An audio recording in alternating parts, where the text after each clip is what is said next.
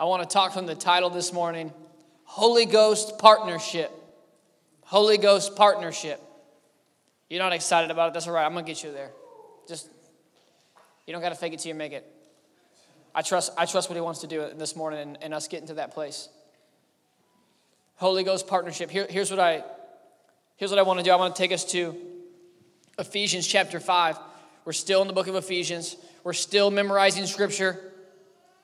There's still time for some of you to memorize the Scripture. We got the cards on the back table back here. Anyone want to, anyone want to recite the Scripture by memory right now? Ephesians chapter 6, starting in verse 10. Anybody want to recite it next week? No one. Their faith is so low. It's all right. Okay. No one even. You don't even believe you can memorize. It's not even. It's not even. Can we pray prayers that are impossible? Just can we memorize ten passages of scripture? Nobody wants to raise their hand. All right. That's fine. You know what? It's really not fine. Someone should raise their hand. But I'm not going to make you do it. Yeah. Oh, was that was that the like neighbor throw up or was that voluntary? 50-50? All right. Next week. Hey, next week we got to volunteer. Leave it to the youth to lead. Um, I hope that you will keep memorizing it. We've had some really powerful times doing that. The card is on the back. You can grab it. You can carry it with you in your car. You can have it. I know that what will happen is you'll get, just like me, you'll get stuck in a jam. Something will be happening. And what will come out will be the flesh instead of the spirit. But if we dedicate ourselves to memorizing the Word of God, what comes out is the Word of God. That's why it's important. That's why I want to make you feel uncomfortable that you're not memorizing the Scripture. Because the reality is we should be. So if you feel a little bit uncomfortable, like, oh man, I should have, I don't really want to raise my hand, but I feel like kind of uncomfortable, I'm good. That's okay. Because it's not all about our comfort, sometimes it's about our obedience, believe it or not. And so in that, I want us to turn to chapter 5 of Ephesians. We're getting so excited for who's going to be reading the scripture, memorizing the scripture for next week. And there's a week after that too, so you still got time, all right?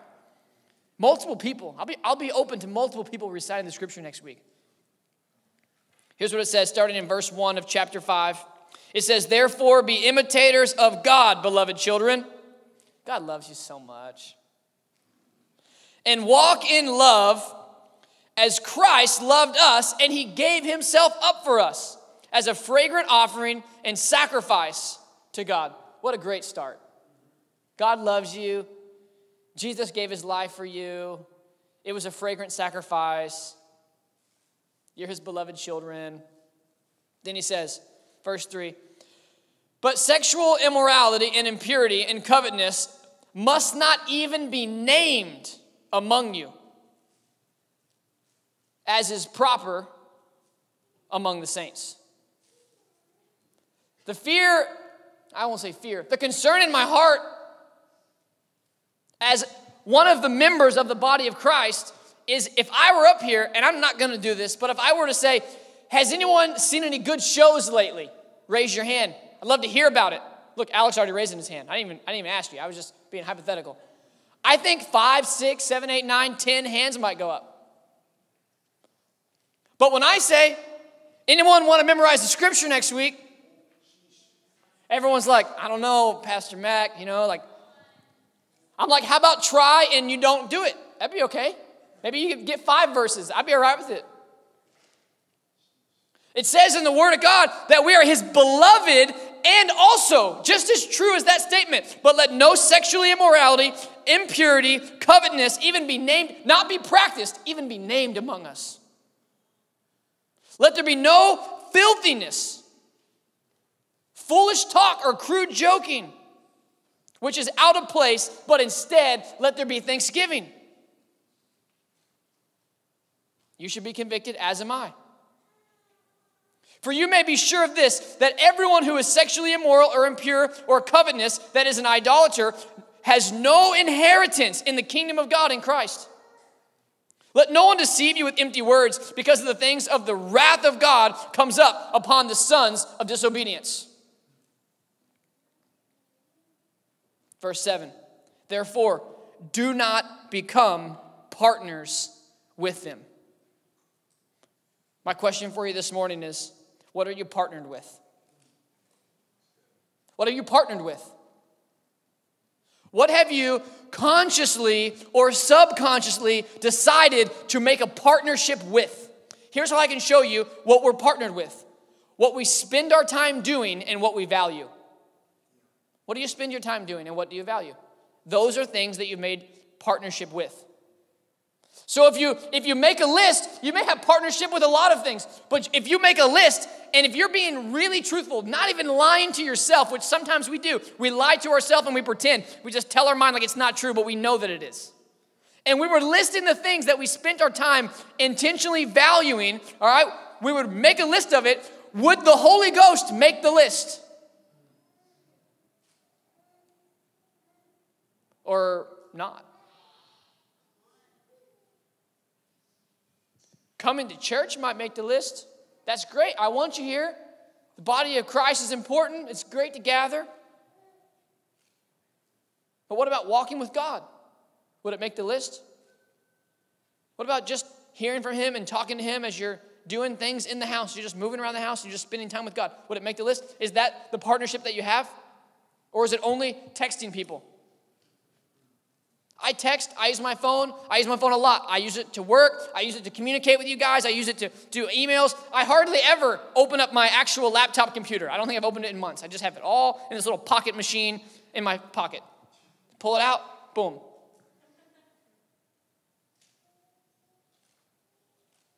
So I get it, I'm on my phone. But I walk around. I told my wife this, maybe even this week, I'm like, I don't know, we might be doomed. Because people are just walking around and they're just glued to it. They're not even paying attention. I'm saying hi to people as I walk through the mall, and they do not even know that I'm saying hi to them. I'm not talking about 12 year olds, I'm talking about 30 year olds. We've for sure made a partnership with that. We know that, all right? Hopefully, we're doing good stuff on it because we're fully partnered. That we're so partnered. We're so partnered with it, they don't even have to put us in a contract anymore because they know you cannot live without it.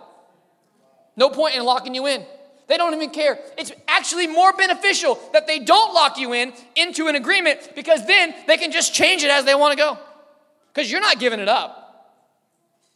We got to have our phones. How would we ever get anywhere? We're using GPS to go home from work every day. It's like you go every day. Stop using your GPS. It's making you dumber, all right? Ask my wife. I am anti GPS. I only use it when I have to. I don't even want to turn it on. I just pull it up, I check the maps, turn it off, like the old days. Like when you had a piece of paper, you printed the instructions off of MapQuest, and you had the piece of paper on there. You go on the family trip and you have the map and it's on a little spiral and you got to turn the pages and you're like, you're flipping it back to see did I make the right exit or the wrong exit. Forget bathroom stops. You know, can't look that up. You're just having to go by what you see, you know? By faith. I love the convenience. I love what it's doing. I, there, there's so many great things that it provides. I'm not telling you to throw it away. I'm asking, are you first partnered with the Holy Spirit or are you first partnered with Steve Jobs? Are you first partnered with what looks good and what feels good and what is right? Or are you first partnered with the convictions that the Holy Spirit brings? Because if we're first partnered with what feels good and what's right, inevitably, every single time, we are going to slip into exactly what it talks about in verses 3 through 4. Sorry, 6. We're going to slip into making jokes that are inappropriate because they get laughs. We're going to slip into talking bad about someone because people around us like it and it makes us look good. We're going to slip into wanting what somebody else has because we wish that we had the happiness that they have and they're not even happy. But when we're partnered with the Holy Spirit, when we're partnered with the Holy Spirit, then we hear what He knows. We have clarity on what's happening around us. We don't have to get anxious about what might never happen and most likely will never happen because we have certainty that we are in His hands, that He has us, that He knows what's going on, that He is leading us.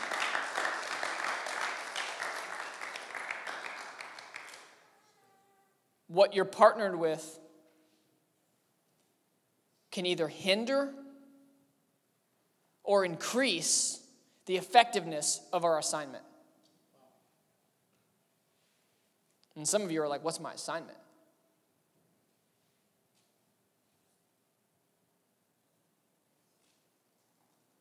A lot of what we're partnered with ends up hindering what we're actually called to do. sometimes even our good habits. I was getting convicted this week. Even habits that we have that are good. You wake up and you have a habit. I'm going to read my Bible this time. I'm going to do this. It's good spiritual habits. I'm, I'm, I'm making my habits what I'm partnered with rather than being partnered with the Holy Ghost. The whole reason I got the habits was to partner with the Holy Spirit, but now my habits have become what is most important. More important than really being with God, I have the habits that I do. This is what I do. I check this box, and they're good things. At one point, they were what was drawing me closer to God, but then they can become what keeps me at a distance. I got closer, I sensed the closeness, but the habits have become a barrier for me. Now I'm partnered with the habits instead of partnered with the Spirit. If we are not at least processing these thoughts and bringing them to the Lord to show us, should we be convicted? Are we living right? Then we're not being mature enough to walk in the Spirit of God.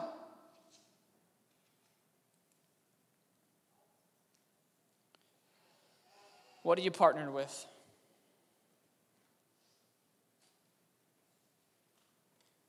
I see the potential of partnership in the room.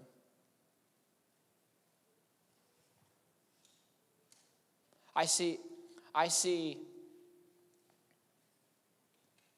all of a sudden extra hours found in a week to do things that you never thought you could do for Jesus. I see phone calls being made to encourage people in the spirit. I see text messages being sent. I see the, the use of technology could be shifted in the room, that it's not just for our own pleasure to scroll and to see what else thing we need to buy and to see what ads they're going to give us so they know. Do you, do you at least realize that when you, when you open up Netflix and it tells you, here's the top 10 things, this is what they're saying, you should watch this. Do they love you? No. Does Netflix care about you? No. So, what does the Holy Spirit say are the top 10 things that we should watch? I see time that is made available as we decide to partner with the Holy Spirit. And I see the word busy dropping to the floor because we're not too busy for the things of God. We just want other things. And if we begin to partner and let ourselves be partnered with the Word of God and we're linked hand in hand with what God is doing, all of a sudden, what's what He's at work with becomes what I'm at work with. I'm partnered with my wife. The, the, burden of being partnered with my wife is that when she's sad, I'm sad. That's the, it's, it's the hard part. It's my joy, but don't we just, we always just want to be happy. We always just want to feel good. When she's down, my heart cares. When she's happy, it makes it easier for me to be happy. It's the joy. It's the same thing in partnering with the Holy Spirit. The burden is that when His heart is sad towards something, when His heart is moved, our heart too must be moved, or we let go hands. When his heart is filled with joy about something, then our heart becomes filled with joy about that very thing because we are partnered with the Holy Spirit. We're beginning to feel our actual feelings, are beginning to sense how the Holy Spirit is partnership happening in the room. Let's turn to verse 8. For at one time you were in darkness, but now you are the light of the world. Walk as children of light. For the fruit of light is found in what is good and what is true and what is right. And try to discern what is pleasing to the Lord. You see? Take no part in unfruitful works of darkness, but instead expose them, not tolerate them. I'm not talking about you exposing what's happening in your neighbor's life. That's not what I'm talking about. I'm talking about you exposing what's happening in your life. For it is shameful even to speak of the things that these people do in secret. But when anything is exposed in light, it becomes visible. For anything that becomes visible, in turn, is light. Then it says, Wake up. Wake up. Awake, O sleeper, and arise from the dead, and Christ will shine on you. And I want our spiritual eyes to wake up. I want to I want to ask us spiritually, what do we partner with? And spiritually, are we awake? Not are we woke? Are we awake? Not do you know all that's happening in media and are you well versed in what's happening in the colleges and are you well versed in your education? Are you well versed in what the Holy Spirit is saying and how He is moving and what is at working? Do you feel what He's saying this week? Wake up that we might see what's happening in the kingdom of God, that we might see where He is moving and partner with that work instead of deciding what we want and begging God to come over and bless it. Come on, God, don't you see how hard I'm working? Come bless this. You can beg God to bless where you're at, or you can join God where He's at. This is partnership. This is being awake to what God is doing. It's saying, remember, I want to bring you back to the heart of what we're talking about. We're reading the book, the letter. It's a letter written by Paul to Ephesus. Now, we've been in this for 10 weeks. So it's easy to forget what's happening. Or maybe you weren't even here 10 weeks ago when we started. Maybe you weren't even here three weeks ago. And he's writing a letter to encourage people that are living for Jesus. He's not beating them up. He's not writing because they're bad. They're bad Christians. I got to write, I got to tell them how to be good Christians. No. There's letters of rebuke in the Word of God. There's times when the people of God have to write a letter to a group of people because they're not living for Jesus. We see that. This isn't even that. This is writing to the people of God who are living for Jesus in an affluent city that is surrounded by a corruption. They're standing bold with their faith and they're choosing Christ in a time that's unpopular. Sound familiar to you? Sound like any cities that you might live in? They're choosing this. And even still, he writes to them and he says, Wake up. Wake up to the numbness in some of the areas of our life where we have allowed sin to run its course while in one hand we worship and in the other hand we think on what is impure. Stop stuffing it down deep and allowing ourselves to forget about it, and instead let it be exposed to the Holy Spirit that He might bring healing to us and greater partnership might be formed.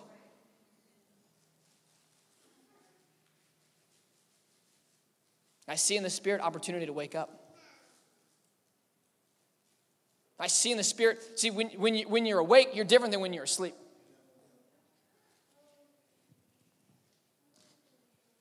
When I'm asleep, I'm very different than when I'm awake. The beard, all smushed over to one side. Just, just frumped over. Mashed up. I can wake up skinny beard, I can wake up fat beard. You don't know what you're gonna get. This is reality. I'm asleep. Do I care while I'm asleep? No, no, because I'm sleeping. I went and got me a new Tempur-Pedic pillow, the cooling one. So I sleep on a cooling pillow that feels like 65 degrees all night long. I'm out. Before or after the pillow, if my wife tries to wake me up while I'm sleeping, it does not go that great. I don't really particularly like it that much, believe it or not. Do you like being woken up in your sleep? No, not really. So, do you think your spirit likes to be woke up in its sleep? No, not really. Are you groggy when you wake up after you've been sleeping and you've been working hard all week at stuff that you probably shouldn't even been doing anyways? And when you wake up, you're feeling a little extra tired? Yeah. Are you most alert right when you wake up? No. Takes a little time, you know, you got to put a little, you got to put, a, I don't drink coffee, you got to put a little coffee in you. That Christian liquid courage. That Christian wake, go-go juice you got to get.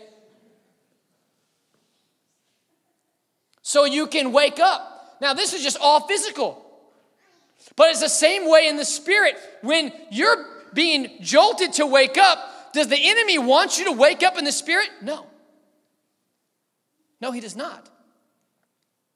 And if we keep going to sleep over and over and over again, and we just keep sleeping longer, becoming less aware of what God is doing, and more about what we're doing, and more into our agendas, and less partnered with Him, we just become sleepier and sleepier and sleepier. Even you're yawning now, I'm saying the word sleep, and you're thinking, oh man, I'm kind of getting a little, I could use a nap right now. Why not? Dim those lights back, kind of lean on the person next to you a little bit. It could happen.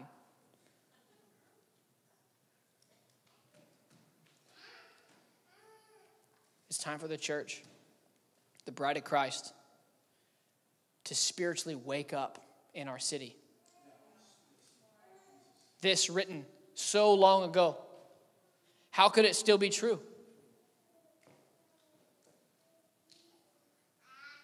How many people do you know that claim to be Christians and you know they don't live for Christ? How many people say that same thing about you? But yet, when I look in the room, I see the potential of boldness and people waking up in their faith and deciding to speak the word of God and to, and to expose what is dark in their own lives and say, I don't want any part of it. It shouldn't even be spoken around me. You can't even speak it around me. We went to the Ranger game last night, yesterday afternoon. Got some good seats, had a good time at the Ranger game. It was a baseball bat giveaway, you know. And this guy sat behind us and we overheard him talking on the phone, and he did not buy the seats that he was sitting in. He was like snuck in, you know? So then he was inviting his friends to also sneak in. He was a loud talker, you know, he was like screaming for the opposing team. And, you know, just having a good time and stuff like that, getting a little loose, you know. So his buddies show up, and they start chatting. And in the first like sentence they're talking, they throw a couple curse words in there, you know, just a couple F bombs, just kind of drop in there. Not faith, by the way, the other F word, all right? In my house, when we use the F word, it's faith. Hallelujah. but they throw in the other word. And let me just tell you, like, I wasn't mad or upset at them, but I just turned around to the guy and I just kind of gave him a look like, hey, I'm holding a one year old. So if you wouldn't mind not saying some of those words, that would be great. Just very like polite, like, hey, you know, like, and he was like, oh yeah, yeah, yeah, for sure. Because that's kind of appropriate. I mean, you know.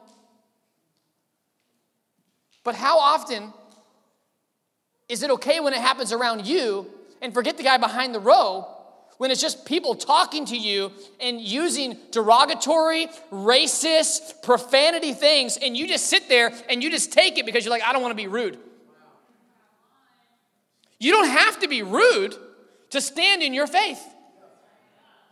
And everybody knows when there's just a one and a half year old right there, it's kind of like, oh, yeah, it's appropriate. But what about my ears, too? Like, I didn't want to hear that. How often do we allow this to happen around us? And then what happens is what we allow to be around us, eventually we become partners with. This happens in relationships. I tell young people all the time, you got to be careful who you're friends with because if you're friends with people you shouldn't be dating, eventually you'll be dating people you shouldn't be dating. Because who is familiar becomes who you're with.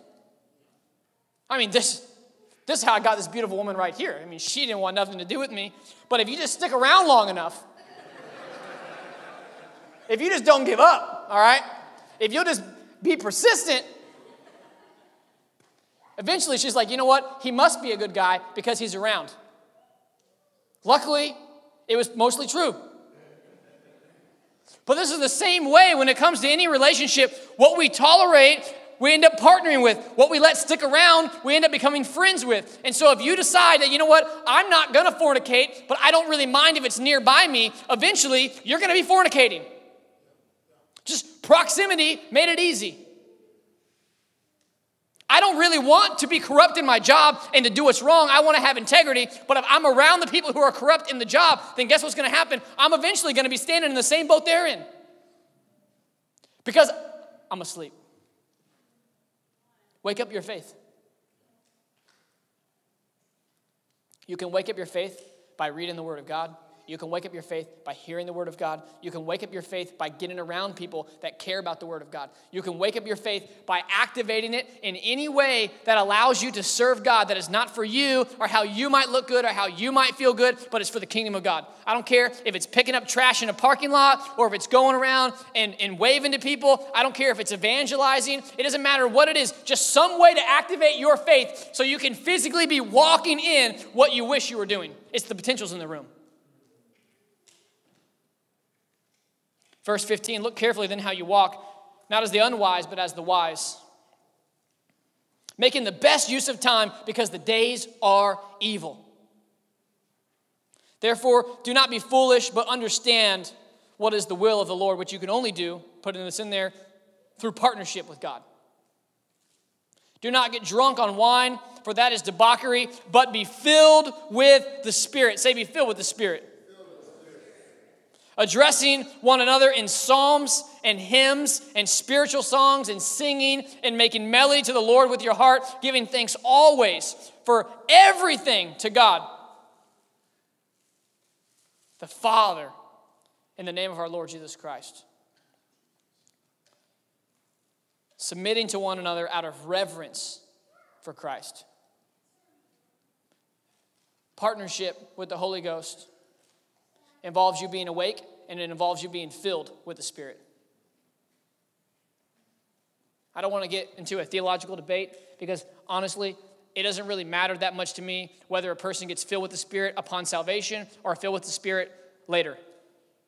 What I have resolved is that clearly speaking in tongues is not a sign of being filled with the Spirit, but rather having the gifts of the Spirit are a sign of being filled with the Spirit.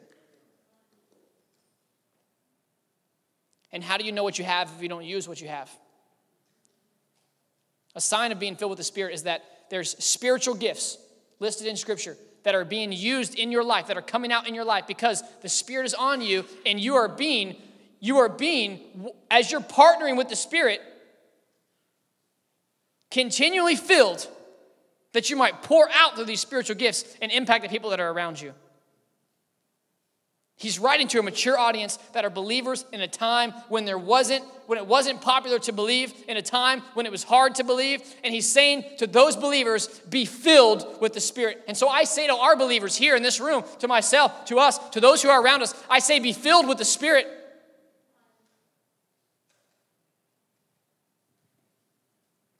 There were times, like I said in scripture, around the same time when people were taking handkerchiefs and they were praying over them.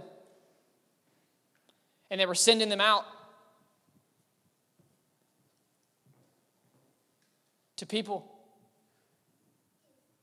And when the other when the other when they when they got where they needed to be and on the other end they touched the hanky they received healing at the other end. And you know there's been times throughout the decades where preachers have stood up and they've said send in $5 and we're going to send you this miracle hanky there's also been times where internet pornography has run rampant. Okay? There's been lots of times where things have happened. List times. Uh, been times where the newspaper is popular and right now it's not. Okay? There's been times. It doesn't change the Word of God. It doesn't change the power and the practice that's in Scripture. You know, if you think about the handkerchief, it has a job. Its job is to wipe what shouldn't be there, to blow your nose, get a little spit off, keep the boogies out, you know. It has a job. And then all of a sudden, this thing that had a job, and I guarantee you, when they were passing around handkerchiefs, they were passing around a work handkerchief. All of a sudden, this thing that had a job became this thing that was just pretty. Most people that carry a handkerchief or wear a handkerchief now, they do it because it's decorative, it's nice. And something that was meant to do a job all of a sudden became decorative. Just slide it in your pocket.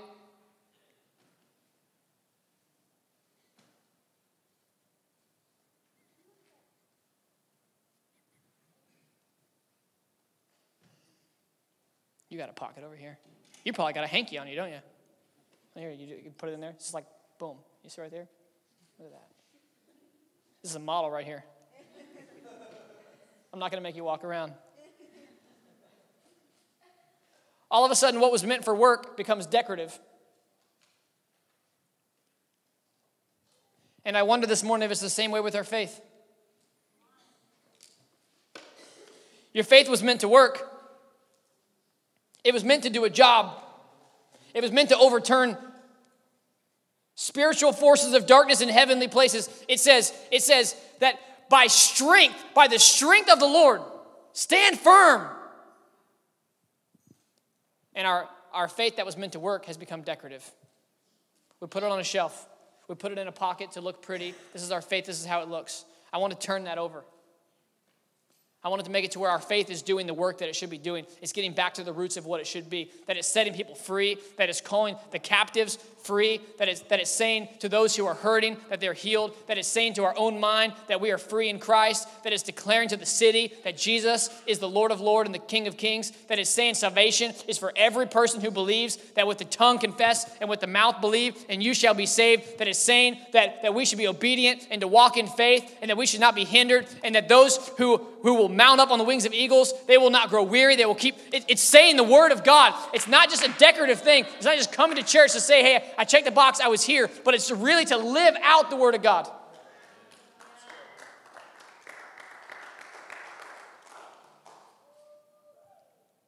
I want to give opportunity for that.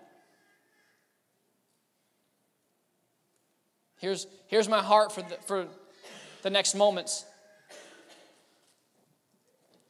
I've taken some of the hankies to make it really practical for you. I'll set them right here for now. And I've cut them into little squares. And what I would love for some of us to do, not I don't know that it's for all of us to do.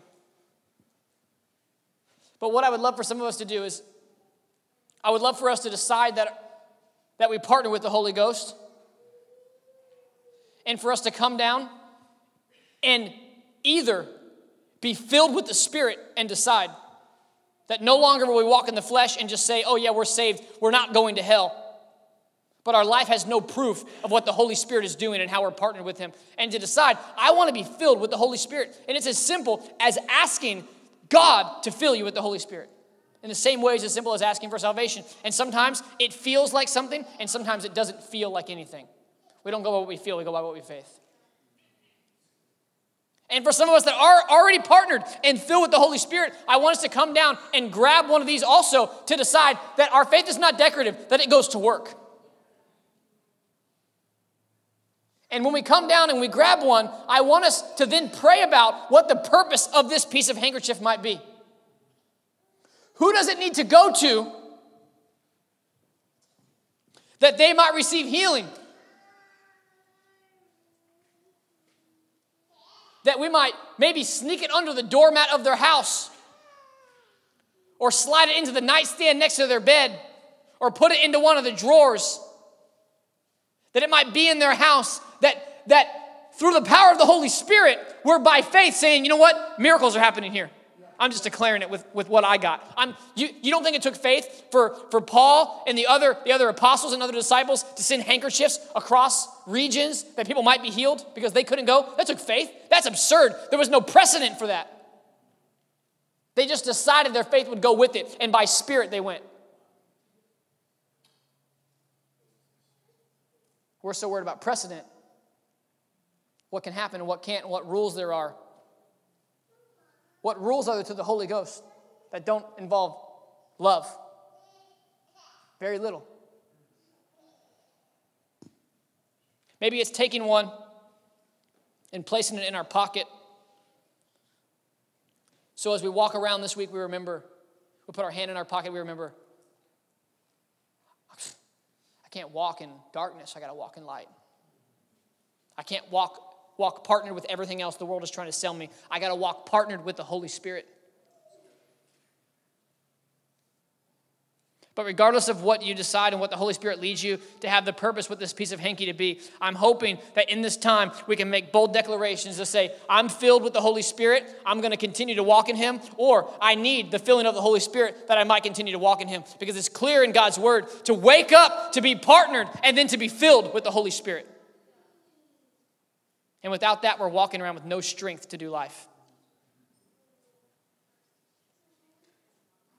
Without that, our faith becomes more decorative than it does effective.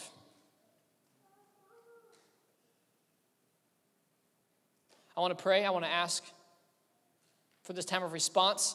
And here's what I want to do I want to be down in the front. Some of you, I believe that maybe even just for a minute, if I could just partner with you. Pray, touch your hand.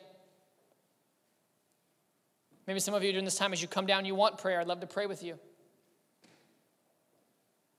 But you can't come down and pray to God, God, fill me with the Holy Spirit, and then walk out and say, I don't think I'm filled with the Holy Spirit, because I just taught you the biblical principle of what you speak and what you walk in.